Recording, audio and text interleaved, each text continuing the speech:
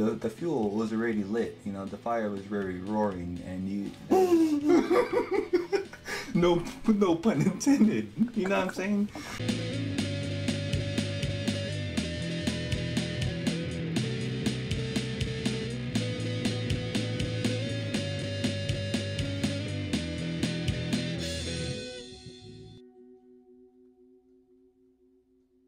What's up, YouTubians? Hey, what's going on, everybody? Good morning, good afternoon, good evening, and good night. Greetings. However, whenever you're watching this, we appreciate you because you already know time is expensive. Yes, thank you for tuning in. And thank you for subscribing. But if you're here for the first time, the show is about anything and everything Creative. Anything that sparks your creativity in whatever medium you dabble Yes, in. yes, expressing your creative soul. And welcome to an episode of Creativity Unsheathed. I'm Oliver Siegel. And I'm Nino. And yes, we are brothers. Yes, we are. And it's the show where we feel That trust is a really valuable commodity. Yes, trust is expensive. And can't go forward in life without having that trust, but you don't know who to lend it out to. You know, it's not like Halloween where you give out free candy. You know, it's something that's really up there in value. For sure. So, uh, tread lightly. And why are we talking about this? And what we're looking in today is Rapid Fire. Ooh, yes. A very underrated Brandon Lee movie because everyone knows him to the crow. Yes, Right? yes. With his recent anniversary of his passing, it feels like it's only right to get Brandon Lee out of that Crow limelight. You Yeah, know, yeah. with the new Crow movie coming to light, it's like you know let Brandon Lee finally rest and not be tied to the Crow. Yeah, you know, for sure. it's like he made other movies. I feel like this movie was his true expression as a martial artist and as an actor because as a martial artist he was able to handle the choreography. Yeah, for sure. know, he, he really got to um, showcase his maturity as an actor, Mhm. you know, and that he can, you know, take any future roles, whatever was to come after this. Yeah, and not be like a, a Bruce Lee ripoff. Even though his, as his father, Yeah, but for sure. like he, you know, always wa- he tried to make his own path. Yeah, for Yeah. sure, definitely. You know, this being a, a homage to um, to his father, Bruce Lee, Yeah. because there is some scenes or some fight scenes where he kind of homaged uh, Enter the Dragon. Yeah, Enter the Dragon.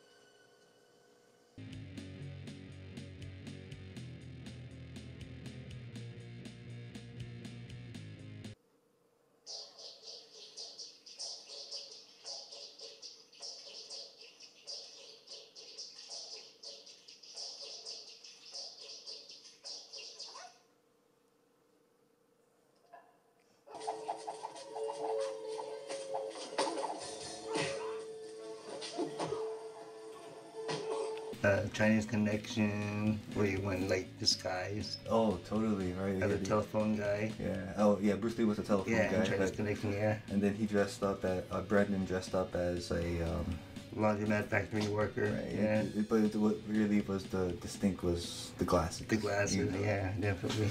It showed that he really can like carry his own as far as having other stars. He was able to hold weight to the scenes, you know, even though he was um, right next to uh, Powers Boothe. Yeah. I mean, he's he's co-star, but you know, honestly, other than this movie, I don't know what else he's done that really makes him iconic up to this Yeah, movie. Fair, yeah. Powers Boothe's acting wasn't, you know, didn't really wow me. He just really seemed that a hard edge, um, you know. Typical uh, New York type cop. Yeah, yeah, you know, kind of what you always see like in like all those uh, old school noir films. Yeah, yeah, know. yeah. So what this movie is about, um, Brandon Lee plays a character named uh, Jake Lowe, who just co- happens to be at the wrong place at the wrong time. Yeah, right? of course. And uh, of course. Right, and Brandon Lee as Jake Lowe was able to be a witness of who was the killer at Mhm. that, you know, At at, the party. right. And it just so happened the cops that took him in, they were tied with the mob. and then they had to uh, transport him to Chicago. because of just like the jurisdictions Yeah, and stuff like mhm, that. the jurisdiction just to get him off their their hands. Man, those cops in Chicago end up being a little crooked. Yeah, Right, and it's because he's being tied in with the mafia. yeah, and they're all part of it. They were gonna frame Jake Lowe, cop killer. You know what I mean? Yeah. But they were the ones that actually shot the cop. Now, now they're trying to kill Jake Lowe in the apartment. Mm-hmm. And he has to team up with the with the cops, but he doesn't know who to trust. Yeah, Powers Boothe. Right, being that being on the good side, but then later on he was able to, uh, you know, bet on that trust, and you know, Mhm. and to side with the right people, and in, in order to clear his name, and they had to do it at whatever it costs to take out um, Serrano, who's, Serrano. who's, Serrano.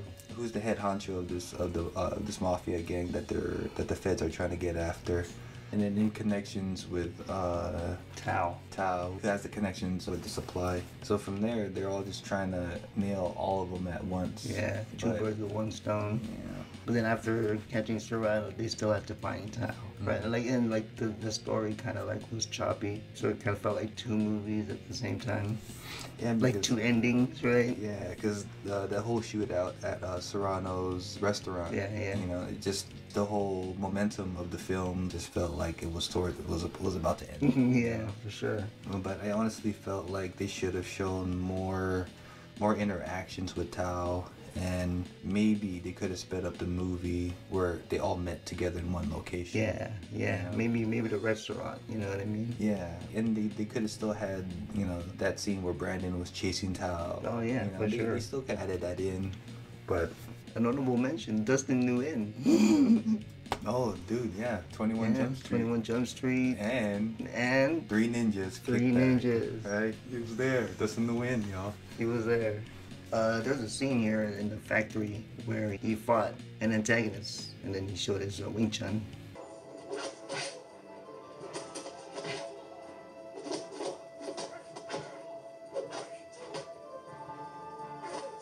And then the whole uh, climbing bit as well. The little parkour move. I mean, we we mentioned that in that Jackie Chan movie review uh, last episode. If you didn't know about that, you can check it out. But I mean, we're gonna mention it here again. But I mean, there's a fence scene in this movie that Brandon Lee outmaneuvered um, one of the henchmen. But it, you know, knowing this was in '92, and then Rumble the Bronx, Jackie Chan's film that came out three years later in '95. Jackie Chan did about this did the same move. wasn't as crisp or as cool as Brandon Lee's, but what if that they got some inspirations? Yeah, from you know? each other. Yeah. Right. I mean, just because of how Rumble in the Bronx was taking a little bit from Way of the Dragon. Yeah. You know, with Right, And then there's a he did a little Jackie Chan move where he kicked the table towards the gunman. yeah, dude. So you can kind of say that like a JKD as well. Yeah, just Mixed with Jackie Chan, right?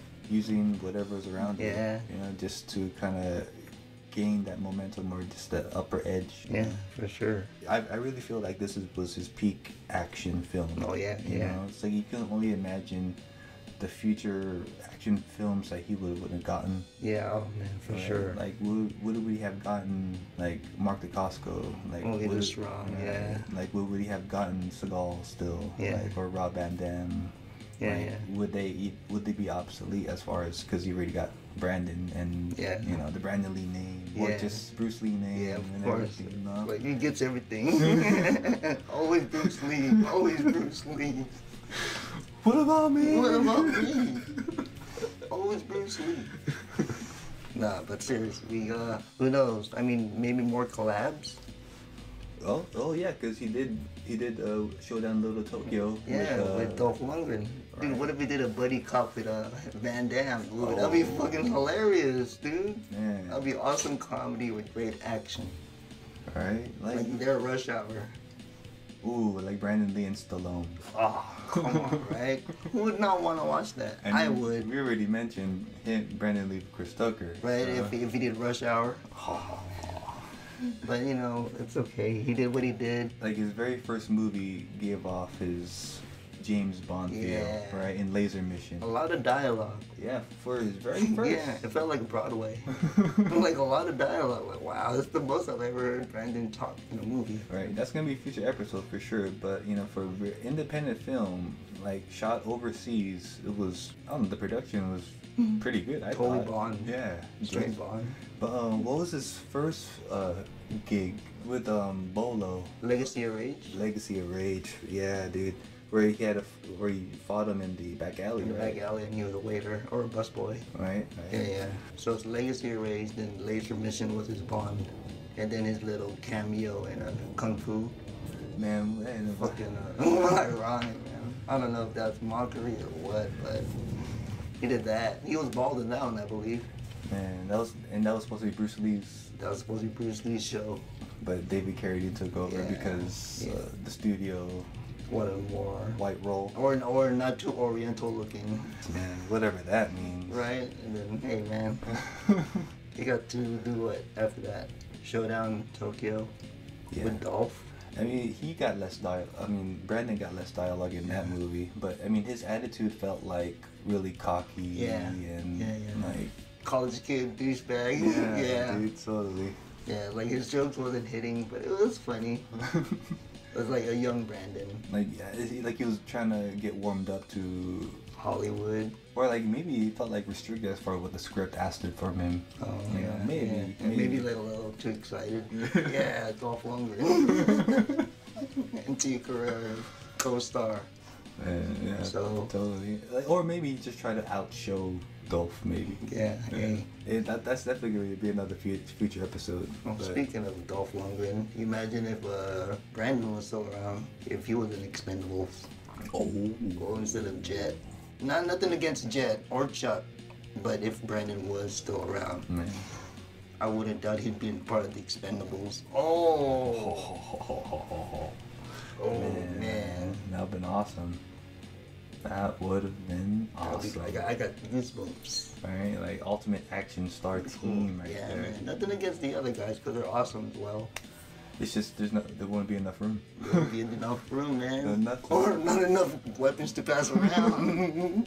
Wait, they're all weapons though. right? That's why they're they walking weapons. some don't need it. Right? It's like so much awesomeness in one team. It's just Oh, it's not enough room though. it's like fuck the dialogue, just all action. What story? What story? point, story? it's like Expendables. You don't need story. Just go. So what would you rate it out of a five?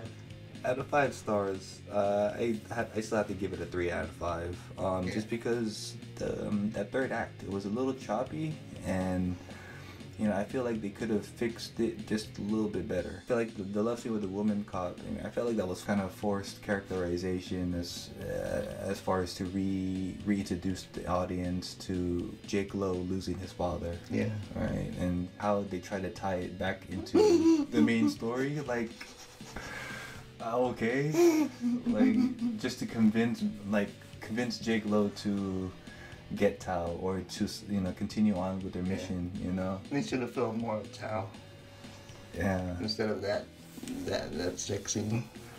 right. But who doesn't want to see Brandon Lee's butt? right? It's like saying like Sex sells, I get it, Yeah. you know, but that really dragged the story. Yeah. And, um, I mean, you still get a different different love scene, but you, like, it was too long. hey, maybe it's so. they, they should have got Tao. It took so long. What the hell are you doing? Go get Tao. Do it to the love bullshit. Get Tao. oh, man. Uh, the the fuel was already lit. You know, the fire was very roaring, and you. no, no pun intended. You know what I'm saying? it's like you could have gotten Serrano while he was roasting. You know, while he got Serrano, you could have gotten Tao there at the same time. End of story. And Brandon Lee walks off into the sunset, Yeah. and then the movie over. You know what I mean? It's like. You could have still chased Tao, right? like you got away from the back door of the restaurant, right? That's why it's called rapid fire, man. the, fire in this film, man. Man. Hey, look, the warehouse was on fire. So Yeah. it's just like there's a there's a fire theme to this to this movie. I give it a three as well. I agree. They should have added Tao a little towards the middle Mm-hmm. and like blended it to the end of the shootout in the restaurant. Yeah. You know, it was still an entertaining movie. You know, it's like uh, just seeing Brandon Lee in action again, just seeing his full expression of his martial art, um, and you know, I, I think it's honestly it's worthy if you had a DVD just rewatch his fight scenes. I, I think that's just what's really worth worth having, worth watching. Cool featurette, I think. It's like it's just a rarity thing type thing where you really see a lot of uh, interviews and like just Brandon Lee footage. Yeah. You know. The scenes in this movie they use in the uh, in the marketing magazine and stuff like that. No, no way. Like I- Inquirer, remember the death when he passed? Oh yeah, Yeah, yeah. they use clips. Oh yeah, you did. You clipped that out Yeah, the magazine, right? yeah, oh yeah, yeah. that's right. That's true. Okay, I forgot about that. Good fight scenes, good choreography, Mm-hmm. Good action. Comedy was cool. It wasn't too over over the top. Just natural. Yeah, it wasn't too dry. I mean, Yeah. I feel like uh, you know, it made me made me chuckle a little bit. Didn't make me like you know fall out my seat or anything. Yeah, it's a really total classic '90s action Yep. with no wires. No wires. No wires. A lot of pyrotechnics, Yeah. but no wires for the most part. yeah, like that. That shootout really felt like a straight up like cowboy western type film, Mhm. right? It's modern day western, Yeah. right? Some also some co-star goons were also in the film uh, Big Trouble in Little China. Oh yeah, true, true. Yeah. So if you know who they are, you'll spot them. Yeah.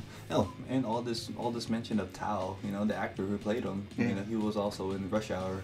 Like I'm totally blanking out on the name, but you know, oh man, Yeah, like- Chris Tucker and Brandon Lee, dude, seriously, Rush Hour. man, Brandon Lee, you can only imagine where he'd gone if that accident didn't happen in the Crow. Yeah, you know what I'm saying. And you know, again, that's why we're doing this in honor of Brandon because you know we as Brandon Lee fans, we don't want everybody to know Brandon Lee just for the Crow. Yes, you know? agree. He is known for many things. Yeah. I mean, even though it's a small filmography, you know, just that small bit is worth his legacy. Yeah, you know, it just sure. it just it just leaves the stamps of what he is as a human being, martial artist, an actor. Yeah. It's like we, I'm not gonna act like we know him personally. It's like, uh, it's like like just give me his uh, just dude. yeah, you know. yeah, 'cause he really paved his own path, and Yeah. you know, as a human being of wanting to make a name as an actor. Yeah, you know? and Brandon was young when his father passed, hmm and all his all he knows is his father's movies, right? Yeah. Yep. Maybe just trying to be a powerful actor or in cinema, Mm. make his presence known, like his father, Mm. not so much be like his father.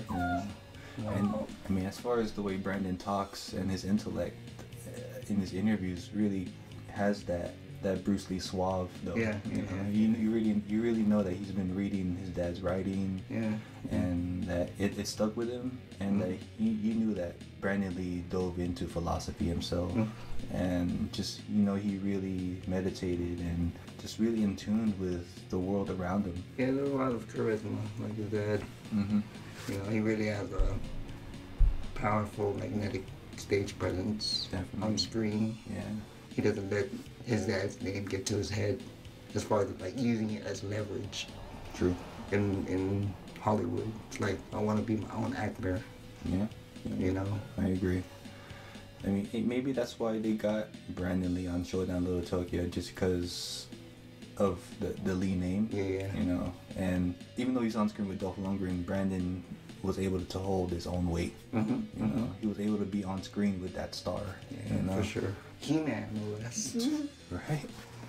So yeah, y'all. I mean, again, we're gonna rate this movie three out of five, but you know, watch it for yourselves. Um, it used to be 20th Century Fox. I mean, now under now Disney owning 20th Century Fox. I don't know if it's on Disney Plus under Action. I don't, I don't know. Yeah, for. Um, but if you can find a DVD, VHS, hey, now you know. Now you know that this movie existed. Go look up the clips yourselves on YouTube.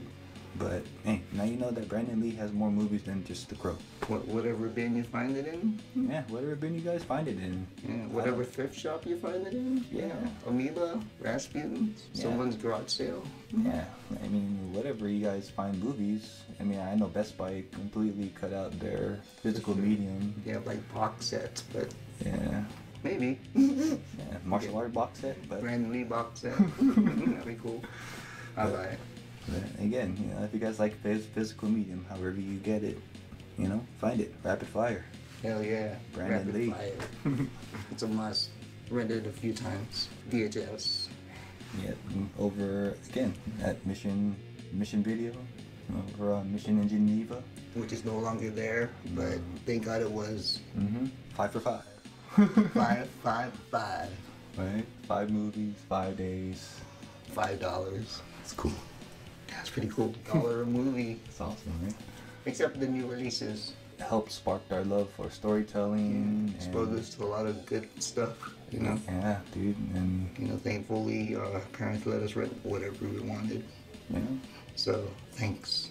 All right, yeah, this is that time for end this episode with a motivational quote for y'all, and let the value hit you for what it's worth. If you heard it before, by all means, it's just a nice self-reflection of where we are today. Today, the present.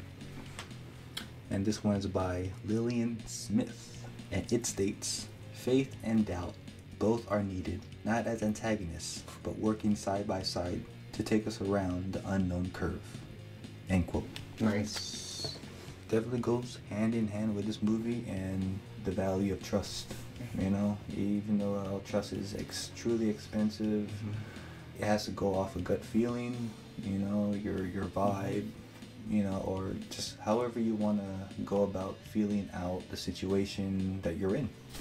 Only you know you and where you need to go and where your trust takes you. Yeah. I mean, Jake Lowe. I mean, he would he didn't know. You know, he, he of course he had to trust himself to survive in order not to be labeled as victim or as a cop killer or whatever. Mhm. You know, he had to survive and again trust which cop is you know real and who's fake. Yeah. you know, For sure. for you guys as creators, you know, trust who you want in your circle as far as creative support. Choose wisely. Yeah, trust is expensive. you Yeah. know? I mean, even though your closest friends may seem like your best friends, but hey, they can two time you. It's almost like the prayer, footprints in the sand. Have faith, right? Yep, definitely. Keep your faith and your intuition, and you know those things will help guide you to where you need to be, and who, what kind of people you need to surround yourself with, and to help you remind yourself how to stay true to yourself in order to trust others around you, Agreed. and you know trust the universe. Yeah, and love yourself for real. That way you get better clarity of who you want to surround yourself with. Totes my goats. So, yeah. Rapid fire. Yeah, you know, Rapid fire. Go get it. Do us a favor and just smash that like button. Smash that subscribe button. Yes, but if yes. you don't like smashing, you know, tap lightly. Very lightly. But if you don't, then disregard what I just said and just exit out. But overall, help us continue to grow and just keep spreading the word. Yeah, man. Comment uh, what other movies you uh, su- suggest us uh, that we review. Yeah, or whatever comics you want us to look at. And definitely coming out with more new music. So stay tuned, y'all. Yes, yes. Because it's that time for us to say, keep creating, stay creative. Stay independent. Have your own voice. Do your best as a human being to stay motivated and to keep on going. Yes. Kill the negativity. Spread the love. Continue your martial arts training and keep putting in the reps. Yeah, man. Mind, always mind your surroundings. Till next time, y'all. Till next time. Peace. Peace. Don't get down. no.